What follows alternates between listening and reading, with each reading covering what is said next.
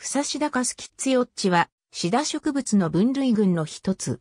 シダ類としては特殊な形のものを含むが、その外形は属ごとに大きく異なり、共通する特徴はあまりない。フサシダ科には現在では4属が含まれる。その共通する特徴は、胞子脳にある。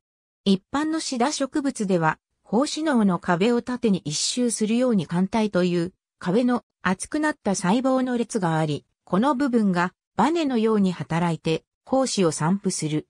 しかしこの類では、艦体が胞子脳の先端部にあり、横向きに一周する。艦体が横巻きになるものとしては他に裏白化もあるが、これは中央を横巻きにしており、はっきりと異なる。その点でこの群と似たものは他にない。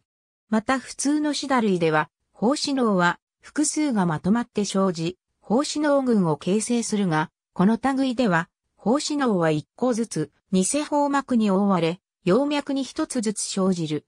つまり、胞子脳群は形成しない。また、胞子脳は他の群のそれより大きくて、すべての胞子脳が同時に熟する。それ以外の外見的特徴には属による違いが大きい。あえて言えば短い根茎があって、葉が地上に出ること、葉の基部に関節がないことくらいである。それぞれについては分類の項に簡単に説明する。詳しくは各族の項を参照されたい。類似の化石は古生大石炭期にまで遡ることができ、原生のシダ植物の中では、ウラジロ科やゼンマイ科と並んで起源の古いものとされる。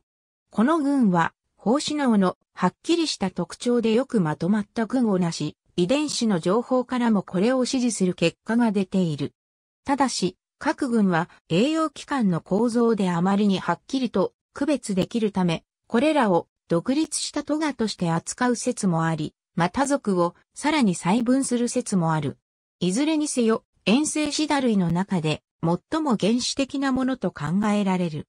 4族170種ほどが知られ、日本からは2族4種が知られている。ふさしだ族は一見ではシダに見えない形、カニクサ族はシダでは珍しいツル植物である。特に役立つものは多くない。アネミア属のものは観葉植物として園芸的に栽培されることがある。